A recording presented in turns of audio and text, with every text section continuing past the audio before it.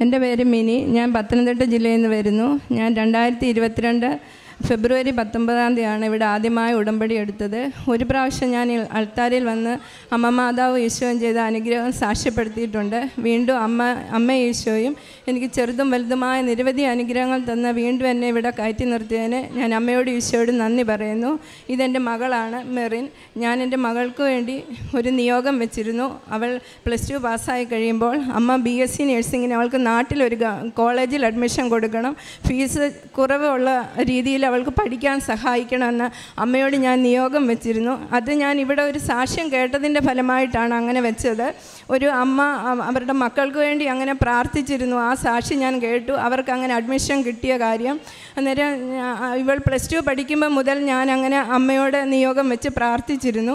അതിന്റെ ഫലമായിട്ട് അവൾ പ്ലസ് ടു പഠിക്കുമ്പോൾ അവൾ പ്ലസ് വണ്ണിന് രണ്ട് സബ്ജക്റ്റിന് തോറ്റുപോയി. അന്നേരം അത് ഇവൾ ജോസഫ് അച്ഛനെ സ്വപ്നത്തിൽ കാണുക അച്ഛൻ വന്ന് അച്ഛന്റെ ആ രീതിയിൽ ചിരിച്ചുകൊണ്ട് അച്ഛൻ പറഞ്ഞു നീ ഈ വർഷം ജയിക്കത്തില്ല എന്ന് പറഞ്ഞു. ഞാൻ ഇവളെ രാവിലെ ചെന്ന് വിളിക്കുമ്പോൾ ഇവൾ ചാടി എഴുന്നേറ്റിട്ട് എന്നോട് പറഞ്ഞു അമ്മ ഞാൻ പ്ലസ് ടു പ്ലസ് വണ്ണിന് തോറ്റുപോയി ജോസഫ് അച്ഛൻ പറഞ്ഞു എന്ന് പറഞ്ഞു. അന്ന് തന്നെ റിസൾട്ട് വരികയും ഇവൾ കെമിസ്ട്രി ഫിസിക്സ് രണ്ട് വിഷയത്തിന് തോറ്റുപോവുകയും ചെയ്തു. എങ്കിലും അമ്മയോട് നിയോഗം വെച്ച് പ്രാർത്ഥിച്ചു. അങ്ങനെ പ്ലസ് ടു പാസ്സായി. പക്ഷേ മാർക്ക് കുറവായിരുന്നു. അറുപത്തഞ്ച് ശതമാനം മാർക്കേ ഉള്ളൂ. ഒരു കുട്ടിക്ക് നമ്മുടെ നാട്ടിൽ ബി എസ് സി നഴ്സിങ്ങിന് അതുകൊണ്ട് പഠിക്കാൻ പറ്റത്തില്ല. എങ്കിലും അമ്മയോട് ഞാൻ ഉടമ്പടിയിൽ അത് ഒന്നാമത്തെ ഉടമ നിയോഗമായി തന്നെ വെച്ച് പ്രാർത്ഥിച്ചു. അങ്ങനെ അവൾ അവൾക്കറിയില്ലായിരുന്നു ഞാൻ അങ്ങനെ വെച്ചിട്ടുണ്ട്. അവൾ ജർമ്മൻ പഠിക്കാനായിട്ട് അവൾ ഉടമ്പടി എടുത്ത് പ്രാർത്ഥിച്ചു. അന്നേരം ഞാൻ അവളോട് പറഞ്ഞു നിന്നെ നിന്നെ അമ്മ ജർമ്മനിക്കൊന്നും വിടത്തില്ല. ഞാൻ അമ്മയോട് ഇങ്ങനെയാണ് പറഞ്ഞേക്കുന്നത് അന്നേരം അവൾ പറഞ്ഞു അമ്മ എന്താ അതെന്നോട് പറയാഞ്ഞേ? ഞാൻ ജർമ്മനിക്ക് പോകണമെന്നാണല്ലോ നിയോഗം വെച്ച്. പക്ഷേ അത് ജർമ്മൻ പഠിക്കാൻ പോകാൻ അവൾക്ക് സാധിച്ചില്ല. ഒരു മാസം പോയപ്പോൾ ശാരീരികമായ ബുദ്ധിമുട്ടുകളൊക്കെ ഉണ്ടായി. അത് നിർത്തി. പിന്നെ നമ്മളിവിടെ നേഴ്സിങ്ങിന് എല്ലാ കോളേജുകളിലും നമ്മൾ അപേക്ഷിച്ചു. എല്ലാ അലോട്ട്മെന്റുകളും വന്നു. ഓരോ അലോട്ട്മെന്റ് വരുമ്പോഴും അവൾക്ക് അഡ്മി അഡ്മിഷൻ കിട്ടിയിട്ടില്ല. അന്നേരം ഈ മകൾ തന്നെ പറയും അമ്മ ഇച്ചിരി താമസിക്കും തോറും അമ്മ ഏറ്റവും കൂടുതൽ നല്ലതായിട്ടുള്ളത് നമുക്ക് ഒരുക്കി തരും. അങ്ങനെ വിശ്വാസത്തോടെ ഞാനും എന്റെ മക്കളും പ്രാർത്ഥിച്ചു. ഇവൾ ഉടമ്പടി എടുക്കുന്നതിന് മുമ്പ് തന്നെ എന്റെ കൂടെ പ്രേക്ഷിത പ്രവർത്തനങ്ങൾ ചെയ്യാൻ വരികയും പ്രത്യക്ഷണ പ്രാർത്ഥന ചൊല്ലുകയും ബൈബിൾ വായിക്കുകയൊക്കെ ചെയ്യുമായിരുന്നു. പിന്നെ അവൾ ഉടമ്പടി എടുത്തതിന് ശേഷം മൂന്ന് മണിയാകുമ്പോൾ എഴുന്നേറ്റ് ബൈബിൾ വായിക്കുക അമ്മയോട് പ്രാർത്ഥിക്കുക അങ്ങനെ അവൾക്ക് കൂടുതൽ വിശ്വാസമായിരുന്നു അമ്മ തരുമെന്നുള്ളത്. അങ്ങനെ എല്ലാ അലോട്ട്മെന്റും കഴിഞ്ഞ് അവൾക്ക് എങ്ങും അഡ്മിഷൻ കിട്ടിയില്ല. അതിനിടയ്ക്ക് ഞങ്ങളുടെ വീടിനെ കുറച്ച് അകലെയായിട്ടൊരു നേഴ്സിംഗ് കോളേജുണ്ട് ഹോസ്പിറ്റലുമുണ്ട് എന്നിട്ട് അടുത്തുള്ളതായതുകൊണ്ട് ഞാൻ അവിടെ ഒരു ആപ്ലിക്കേഷൻ കൊണ്ട് കൊടുത്തു അഡ്മിനിസ്ട്രേറ്ററിന്റെ അന്നേരം ആ സാറിനോട് ചോദിച്ചു എന്തിനാ ഇത്രയും അറുപത്തഞ്ച് ശതമാനമുള്ള കുട്ടിയുടെ പേപ്പർ തന്നെ? ഇതിവിടെ കിട്ടത്തില്ല തൊണ്ണൂറും തൊണ്ണൂറ്റഞ്ചും മാർക്ക് ശതമാനമുള്ളവർ ഇവിടെ പുറത്ത് നിൽക്കുക. എന്നിട്ട് ഇതെങ്ങനെ തരുമെന്ന് ചോദിച്ചു. ഞാൻ അത് കൊണ്ടു കൊടുത്തപ്പോൾ ഉടമ്പടി തൈലം കുരിശ് വരച്ച് ഉടമ്പടി ഉപ്പ് അവിടെ ഇട്ടതിന് ശേഷമാണ് വിശ്വാസ പ്രമാണം ചൊല്ലിയാണ് കൊടുത്തത്. അങ്ങനെ ഈ അലോട്ട്മെന്റ് എല്ലാം കഴിഞ്ഞു ക്ലാസ്സും തുടങ്ങി. അന്നേരം മാനസികമായിട്ടൊക്കെ ബുദ്ധിമുട്ടുണ്ടായി വിഷമങ്ങളുണ്ടായി. അങ്ങനെ പൂജ ഹോളിഡേയ്സിന്റെ സമയത്ത് ഒരു രാത്രി ഏഴ് ഏഴര ആയപ്പോൾ എന്റെ വീട്ടിലൊരു ഫോൺ വന്നു. ഞാൻ ഈ ആപ്ലിക്കേഷൻ കൊടുത്ത കോളേജിൽ നിന്നാണ് വിളിക്കുന്നത്. ഇത് മെറിന്റെ വീടല്ലേ? ഇത് ഇന്ന കോളേജിൽ നിന്നാണ് വിളിക്കുന്നത്? ഒരു അഡ്മിഷൻ ഇവിടെ ഒരു സീറ്റ് ഒഴിവുണ്ട്. ഇതെങ്ങനെ സംഭവിച്ചെന്നൊന്നും ഞങ്ങൾക്കറിയത്തില്ല. ഇവിടെ അഡ്മിഷനും എടുത്ത് ക്ലാസ്സും തുടങ്ങിയതാണ്. ഇപ്പോൾ ഞങ്ങൾക്ക് ഉത്തരവ് കിട്ടി. ഒരു കുട്ടിയെ എടുക്കാമെന്ന് പറഞ്ഞ്. ഇനി ബുധനാഴ്ച കോളേജുള്ള ദിവസം മോളെയും കുട്ടി വന്ന് അഡ്മിഷൻ എടുക്കണം. ചെറിയൊരു ഡൊണേഷൻ തരണമെന്നൊക്കെ പറഞ്ഞു. ഞാൻ എനിക്ക് ഡൊണേഷൻ കൊടുക്കാനൊന്നുമില്ല. ഞാൻ എന്റെ മകളെയും കൂട്ടി ഞാൻ അവിടെ ബുധനാഴ്ച നേഴ്സിംഗ് കോളേജിൽ ചെന്നു. അന്ന് ഞാൻ ഉടമ്പടി ഒപ്പിട്ട് അഡ്മിനിസ്ട്രേറ്ററിന്റെ റൂമിലിട്ട് പ്രാർത്ഥിച്ചു. കയറിയപ്പോൾ ആ പ്രിൻസിപ്പാൾ എന്നെ കണ്ടപ്പോൾ എന്നോട് ചോദിച്ചു എന്താ ഇവിടെ വന്നേ? ഞാൻ പറഞ്ഞു ഇങ്ങനെ ഒരു അഡ്മിഷൻ ഉണ്ടെന്നും പറഞ്ഞ് വിളിച്ചു. അതിന് വന്നതാന്ന് പറഞ്ഞു. അത് മൂന്ന് ലക്ഷം രൂപയ്ക്ക് അത് കൊടുക്കുന്നത്. നിങ്ങൾക്ക് മൂന്ന് ലക്ഷം രൂപ ഉണ്ടോ? ഞാൻ പറഞ്ഞു എനിക്ക് പൈസയൊന്നും ഇല്ല കൊടുക്കാൻ. അന്നേരം ഞാൻ ആ പുറത്ത് നിന്ന് അമ്മ മാതാവിനോട് പറഞ്ഞു അമ്മ മാതാവേ അമ്മ ഈശോ എനിക്ക് മുമ്പേ അവിടെ കയറിക്കോണം എനിക്ക് വേണ്ടി സംസാരിക്കണം. പൈസ ഇല്ലാത്തവരുടെ മക്കളും അമ്മയെ പഠിക്കണ്ടേ? അമ്മ എനിക്ക് വേണ്ടി അവിടെ സംസാരിക്കണമെന്ന് പറഞ്ഞു. ഞങ്ങളവിടെ അന്നേരം ആ പ്രിൻസിപ്പാൾ പറഞ്ഞു ഏതായാലും വന്നതല്ലേ? അഡ്മിനിസ്ട്രേറ്ററെ കണ്ടിട്ട് പൊക്കോളാൻ പറഞ്ഞു. ഞങ്ങളവിടെ കയറിയപ്പോൾ അഡ്മിനിസ്ട്രേറ്റർ പറഞ്ഞു മൂന്ന് ലക്ഷം രൂപയ്ക്കായി ഈ സീറ്റ് ഇവിടെ കൊടുത്തിട്ടുള്ളത്. ഒരു സീറ്റിന് വേണ്ടി വേറെ രണ്ട് കുട്ടികളും കൂടെ നിൽക്കുക. നിങ്ങൾക്ക് പൈസ ഉണ്ടോ തരാൻ ചോദിച്ചു. ഞാൻ ഇച്ചിരി നേരം മിണ്ടിയില്ല. എന്നിട്ട് ഞാൻ പറഞ്ഞു സാറേ പൈസയൊന്നും ഇല്ല എന്നാൽ ഞങ്ങൾ പൊക്കോട്ടെ. അന്നേരം ഞാൻ ഇറങ്ങിയിട്ട് തിരിച്ചു പറഞ്ഞു. അമ്മ അമ്മ കൂടെ ഉണ്ടെന്നുള്ള ധൈര്യമുള്ളതുകൊണ്ട് ഞാൻ പറഞ്ഞു സാറേ എന്തെങ്കിലും ഈ തീരുമാനത്തിനൊരു മാറ്റമുണ്ട് സാറ് വിളിക്കണമെന്ന് പറഞ്ഞു. ആ വിളിക്കാമെന്ന് തലയാട്ടി. ഞങ്ങൾ ആ കോളേജിനടുത്തൊരു ചെറിയ പള്ളിയുണ്ട്. അവിടെ പോയിരുന്ന ഞങ്ങൾ കുറേ ജപമാല ചൊല്ലി. അന്നേരം ഞാൻ ഫ്രണ്ടിലായിരിക്കുന്നത് ഞാൻ തിരിഞ്ഞു നോക്കുമ്പോൾ എന്റെ മകളിരുന്ന് ഭയങ്കരമായിട്ട് കരയുന്നുണ്ട്. അന്നേരം എനിക്ക് ഒത്തിരി സങ്കടമായി. അന്നേരം ഞാൻ ഈശോയോട് പറഞ്ഞു ഈശോ ഈ സീറ്റ് കിട്ടിയില്ല. ഈ വർഷം എന്റെ മാഡം വിദ്യാഭ്യാസം തടസ്സപ്പെടും. ഞാൻ എന്ത് ചെയ്യും? എനിക്ക് വേണ്ടി സംസാരിക്കാനും പൈസ തരാനും ഒന്നും ആരുമില്ല. ഈശോ ഇടപെടണം. അങ്ങനെ കരഞ്ഞ് പ്രാർത്ഥിച്ചുകൊണ്ടിരുന്നപ്പോൾ ഗതസമനെ പ്രാർത്ഥിക്കുന്ന ഈശോ എന്റെ ഇടതുവശത്തായിട്ടിരിക്കുന്നത് എനിക്ക് കാണാൻ സാധിച്ചു. അന്നേരം തന്നെ എനിക്ക് മനസ്സിലായി ഈ സെറ്റ് സീറ്റ് എന്റെ മകൾക്ക് ഉറപ്പാണെന്ന്. അങ്ങനെ ഞങ്ങൾ വെളി വീട്ടിൽ പോകാനായിട്ട് ഇറങ്ങിയപ്പോൾ ഈ കോളേജിൽ നിന്ന് ഈ അഡ്മിനിസ്ട്രേറ്റർ തന്നെ വിളിച്ചു. ഞങ്ങൾ ഞാൻ തന്നെ മുൻകൈ എടുത്ത് ഞാൻ ഞങ്ങളുടെ ഡയറക്ടറെയോടൊന്ന് ചോദിച്ച് നോക്കട്ടെ എന്തെങ്കിലും ചെയ്യാൻ പറ്റുമോ എന്ന്. അങ്ങനെ ഞങ്ങൾ അവിടുന്ന് പോകാൻ ഇറങ്ങി അന്നേരം ഒരു ആൾ വയ്യാതെ ഇങ്ങനെ ആ റോഡ് സൈഡിൽ കിടക്കുന്നു. എന്റെ മോൾ ഓടിപ്പോയി ആ ആളിന് ഭക്ഷണമൊക്കെ മേടിച്ചുകൊണ്ട് കൊടുത്തു. ഞങ്ങൾ പോയി ഒരു രോഗിയെ കണ്ട് ആ വീട്ടിൽ ചെന്ന് ഞങ്ങൾ ഉടമ്പടി ഉപ്പൊക്കെ കൊടുത്ത് പ്രാർത്ഥിച്ച് ഞങ്ങൾ ആ വീടിന് പുറത്തോട്ട് ഇറങ്ങിയപ്പോഴത്തേക്ക് ഫോൺ കോൾ വന്നു. ഞങ്ങളുടെ മകൾക്ക് ആ സീറ്റ് തരും. ഞങ്ങളുടെ ഡയറക്ടർ പറഞ്ഞു "ഉം, പൈസ നിങ്ങളുടെ കയ്യിൽ എന്തെങ്കിലും ഉണ്ടെങ്കിൽ അത് കൊടുത്തിട്ട് അഡ്മിഷൻ എടുത്ത് മോളെ ചേർത്തോളാൻ പറഞ്ഞു എന്ന് പറഞ്ഞു. അപ്പൻ അപ്പം തന്നെ വേറൊരാൾ എന്റെ ഭർത്താവിന്റെ ഒരു സുഹൃത്ത് വിളിച്ചു. നിങ്ങളുടെ മോൾ പഠിക്കാനൊക്കെ പോകണ്ടേ? ഞങ്ങൾക്ക് ഇച്ചിരി പൈസ തന്ന് സഹായിക്കാമെന്ന് പറഞ്ഞ് ഒരാളെ പൈസ വൈകിട്ട് തരാമെന്നും പറഞ്ഞ് അങ്ങനെ വിളിച്ചു. അങ്ങനെ എന്റെ മോൾക്ക് അഡ്മിഷൻ കിട്ടി. അന്ന് ഈ വിളിക്കും അഡ്മിഷന് വേണ്ടി വിളിക്കുമ്പോൾ അച്ഛന്റെ ധ്യാനത്തിൽ അച്ഛൻ പറയുന്നുണ്ടായിരുന്നു ഒന്നാം യാമത്തിൽ അവൻ വന്നില്ലെങ്കിൽ നിങ്ങൾ വിചാരിക്കരുത് അവൻ വരുത്തില്ല. രണ്ടാമത്തേത് മൂന്നാമത്തിലും വന്നില്ലെങ്കിൽ അവൻ ഉറപ്പായിട്ട് നാലാം യാമത്തിൽ വരും. അങ്ങനെ അവൻ വരുമെന്ന് വിശ്വാസ വിശ്വസിക്കാത്തവൻ സത്യകൃഷ്ണനിയല്ല എന്ന് അച്ഛൻ പറഞ്ഞു. അത് ഞങ്ങളുടെ ജീവിതത്തിൽ സംഭവിച്ച അച്ഛൻ നാലാം യേശു നാലാം യാമത്തിലാണ് ഞങ്ങളുടെ ജീവിതത്തിലേക്ക് കടന്നു വന്നത്. ഇന്ന് എന്റെ മോൾക്ക് കൺസെഷൻ കിട്ടും. പത്ത് രൂപ കൊടുത്താൽ വീട്ടിൽ വന്നു പോകാം. ഹോസ്റ്റൽ ഫീസ് കൊടുക്കണ്ട. വീടിന് അടുത്ത് തന്നെ ആ കോളേജിൽ തന്നെ എന്റെ മകൾക്ക് അഡ്മിഷൻ കിട്ടി. ഇപ്പോൾ ഫസ്റ്റ് ഇയർ നേഴ്സിംഗ് അവൾ പഠിക്കുന്നു. അതിന്റെ കൂടെ ഫീസ് അടയ്ക്കാൻ എഡ്യൂക്കേഷൻ ലോൺ വേണമായിരുന്നു. ഞാനിതുപോലെ വേറെ ആൾക്കാരുടെ കൂടെ കൂടി ഒരു ഗ്രൂപ്പ് ലോൺ എടുത്തിട്ടുണ്ടായിരുന്നു എന്റെ മൂത്ത കുട്ടി പഠിക്കുന്നതിന് വേണ്ടി. ഞാൻ എന്റെ പൈസ അടച്ചതാണ്. മറ്റുള്ളവർ അടയ്ക്കാതെ അത് സിവിൽ സിവിലായി. അന്നേരം എന്റെ മോൾക്ക് എഡ്യൂക്കേഷൻ ലോൺ കിട്ടത്തില്ല.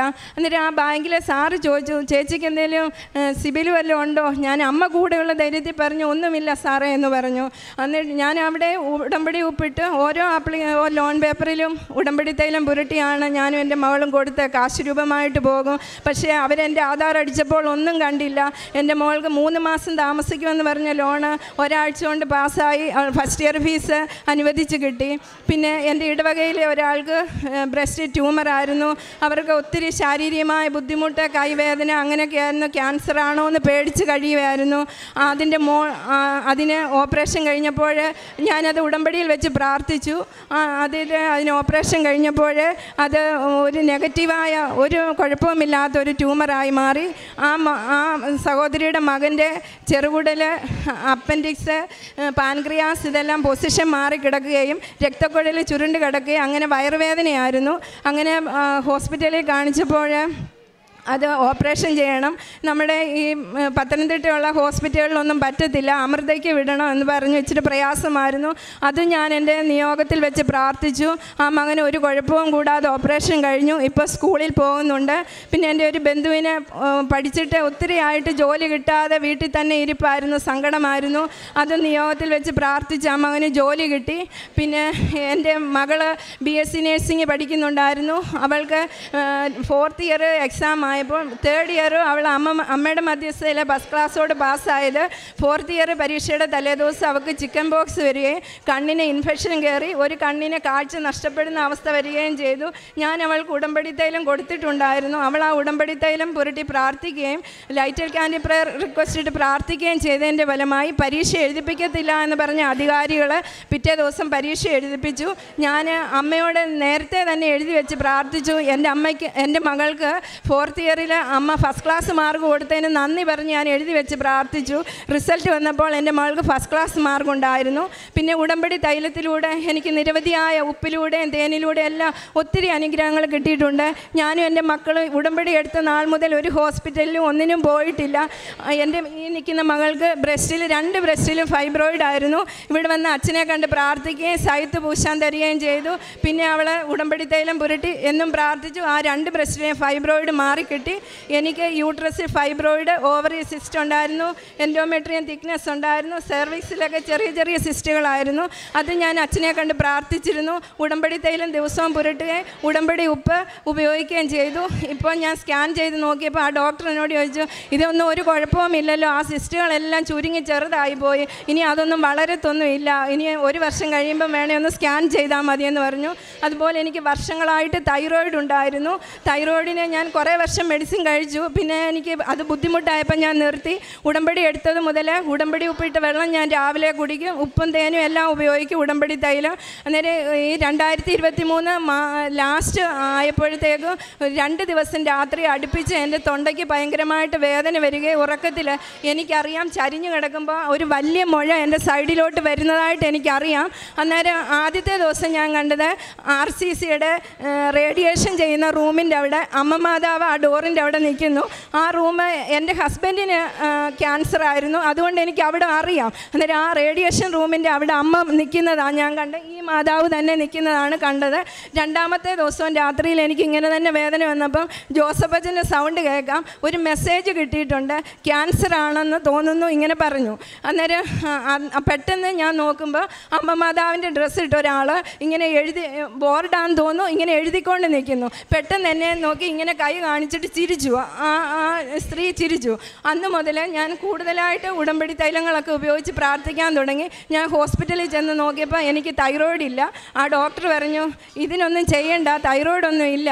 പിന്നെ വല്ല കഴുത്തിന് വല്ല വീക്കോ വല്ലതും വരുവാണെങ്കിൽ സ്കാൻ ചെയ്താൽ മതി. അല്ലാതെ ഒരു പ്രശ്നവും തൈറോയിഡിനില്ല എന്ന് പറഞ്ഞു. പിന്നെ എന്റെ വീടിനടുത്തൊരുള്ള സഹോദരന് ഇങ്ങനെ മരുന്നൊക്കെ കഴിച്ചത് ആ പൊട്ടി ചൊറിച്ചിലായിരുന്നു അലർജി ആയിട്ട് ഒരു ദിവസം എന്റെ മനസ്സിൽ ശക്തമായിട്ട് പറയുക നീ പോ അവിടെ പോ പത്രം കൊണ്ട് കൊടുക്കുക ഉടമ്പടി തൈലം ഉപയോഗിച്ച് പ്രാർത്ഥിക്കുക. അങ്ങനെ ഞാനും എന്റെ ഈ മകളും കൂടെ അവിടെ പോവുകയും ഉടമ്പടി തൈലം ആ മകന് ഞങ്ങൾ പുരട്ടി കൊടുക്കുകയും അമ്മയുടെ പ്രത്യക്ഷ പ്രാർത്ഥനയും ചൊല്ലി വിശ്വാസ പ്രമാണം ചൊല്ലി ഞങ്ങൾ പുരട്ടാൻ കൊടുക്കുകയും ഉടമ്പടി ഉപ്പിട്ട് കൊടുത്തിട്ട് പറഞ്ഞു ഇത് കഴിക്കണം വെള്ളത്തിലിട്ട് കുളിക്കണം എന്നൊക്കെ പറഞ്ഞു. പിറ്റേ ദിവസം തന്നെ ആ മകന്റെ ചൊറിച്ചിലൊക്കെ കുറഞ്ഞു. ഭക്ഷണം വായിലെല്ലാം മാറി ഭക്ഷണമൊക്കെ കഴിക്കാൻ തുടങ്ങി.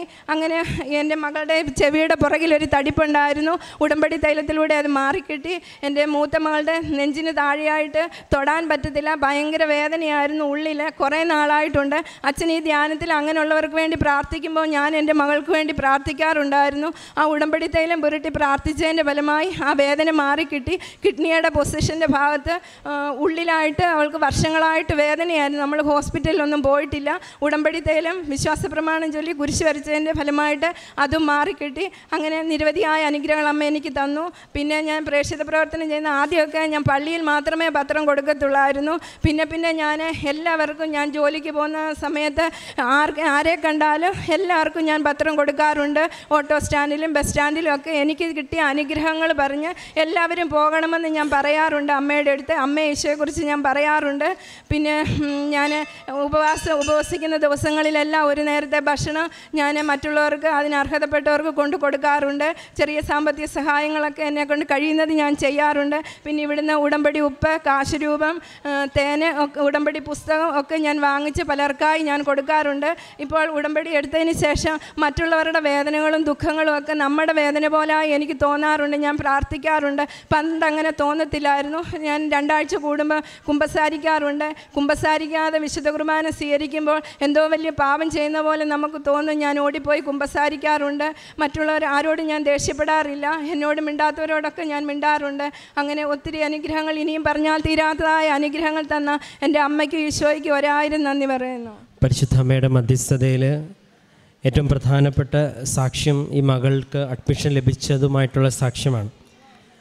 അതിൽ വ്യക്തമായിട്ട് നമ്മൾ ഉടമ്പടിയിൽ അച്ഛനെപ്പോഴും ഓർമ്മപ്പെടുത്താറൊന്നെന്ന് പറയണത് നമുക്ക് ദൈവത്തിന്റെ ഒരു ഇടപെടൽ നമ്മുടെ ജീവിതത്തിൽ നമ്മൾ പൂർണമായിട്ട് വിശ്വസിക്കണമെങ്കിൽ അത് നമ്മൾ അപ്രതീക്ഷിതം അല്ലെങ്കിൽ നമുക്ക് കഴിവിനേക്കാളും അപ്പുറമുള്ളൊരു കാര്യം. അതുകൊണ്ടാണ് ഉടമ്പടി നിയോഗം വെക്കുമ്പോൾ ഒരിക്കലും സാധ്യതയുള്ള നമ്മുടെ കഴിവിൽ നിൽക്കുന്ന കാര്യങ്ങൾ വെക്കരുതെന്ന് പറയുന്നതും കാരണം നടന്നതിന് ശേഷം സ്വാഭാവികമായിട്ടൊരു മാനസിക യുക്തി വർക്കൗട്ട് ചെയ്ത് ഒരുപക്ഷെ എളിമയിലേക്കുള്ള ഉപരി അഹങ്കാരത്തിലേക്ക് വരാനായിട്ടൊരു സാധ്യതയുണ്ട്. അതുകൊണ്ടാണ് ഉടമ്പടിയിലെ നിയോഗങ്ങൾ എപ്പോഴും സ്വർഗീയമായ നിയോഗങ്ങൾ വെക്കുക അല്ലെങ്കിൽ നമ്മൾ പ്രതീക്ഷ നമ്മുടെ കഴിവിൽ നിൽക്കാത്ത ദൈവത്തിന്റെ ആശ്രയത്തിൽ മാത്രം നിൽക്കുന്ന നിയോഗങ്ങൾ വെക്കാൻ എപ്പോഴും പറയാനുണ്ട് ഈ ഒരു കാര്യത്തിൽ ഈ മകൾ വ്യക്തി മകൾക്ക് വേണ്ടിയാണ് അമ്മ പറഞ്ഞത്. ആ സാക്ഷ്യത്തിൽ വ്യക്തമാണ്.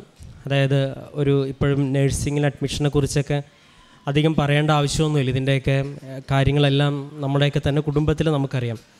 ഒരു അഡ്മിഷന് വേണ്ടിയുള്ള എത്ര പാടാണ് ബുദ്ധിമുട്ടാണ് എത്ര ഡൊണേഷനെ കൊടു അപ്പോൾ ഇത്രയും സാഹചര്യത്തിൽ നിൽക്കുമ്പോൾ വീടിനടുത്ത് തന്നെ ഒരു സാഹചര്യം ഉണ്ടായി.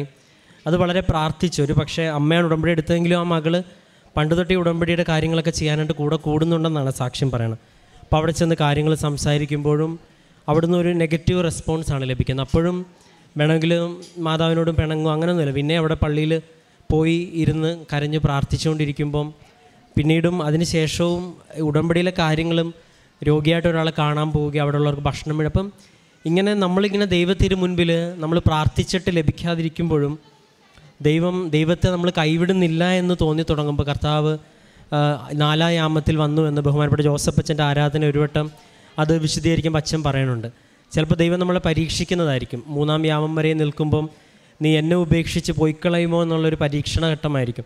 അപ്പം അതിനുശേഷം എല്ലാം ക്രമീകരിക്കപ്പെട്ടു എന്നതിന്റെ ഏറ്റവും വലിയ ഉദാഹരണം അവിടെ കാര്യങ്ങൾ ക്രമീകരിച്ച് അഡ്മിഷൻ എടുക്കാൻ പറയുമ്പോൾ കുറച്ച് ഉള്ളത് കൊണ്ട് അടയ്ക്കാൻ പറയുന്ന സമയത്ത് തന്നെ ഏതോ ഹസ്ബൻഡിന്റെ ഒരു സുഹൃത്ത് വിളിച്ചിട്ട് അതും അപ്പോൾ ഇതിങ്ങനെ പ്രാർത്ഥനയിൽ നമ്മൾ വായിച്ചെടുക്കുമ്പോൾ ഇതെല്ലാം ഇങ്ങനെ ഒരു മാലയിൽ കോർക്കുന്നത് പോലെ ദൈവാനുഭവങ്ങൾ ഇങ്ങനെ കോർത്തെടുക്കാനായിട്ട് സാധിക്കും. അത് കാര്യങ്ങൾ ക്രമപ്പെടുന്നു ഹോസ്റ്റൽ ഫീസ് പോലും ഇല്ലാതെ.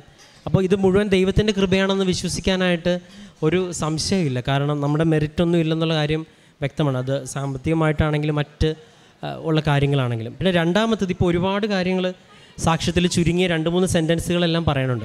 സാക്ഷ്യം മറ്റുള്ളവരുടെ നിയോഗങ്ങൾ വെച്ചതെല്ലാം. ഒരുപാട് സൗഖ്യത്തിന്റെ കാര്യങ്ങൾ ഒരുപാട് ഇടങ്ങളിൽ പോയി സഹായിച്ച് അവർക്ക് സൗഖ്യം കിട്ട കാര്യങ്ങൾ.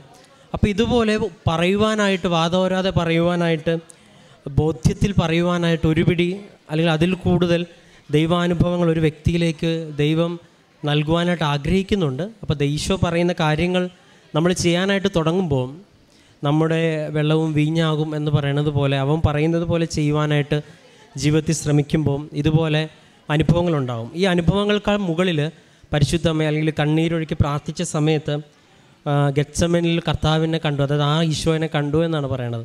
അതൊരു സ്വർഗീയമായ ഒരു അനുഭവമാണ്. ലൂക്ക ഇരുപത്തിരണ്ട് നാൽപ്പത്തിരണ്ടിൽ കർത്താവ് പ്രാർത്ഥിച്ചപ്പോൾ ദൂതൻ വന്ന് ആശ്വസിപ്പിച്ചു എന്ന് പറയുന്നതും സങ്കീർത്തനം മുപ്പത്തിനാലിന്റെ എട്ടിൽ പറയണമല്ലേ ഹൃദയം നുറുങ്ങിയവർക്ക് കർത്താവ് സമീപസ്ഥനാണെന്നുള്ള വലിയൊരു വചനത്തിന്റെ അഭിഷേകമൊക്കെ ആ സാക്ഷ്യത്തിലുണ്ട്.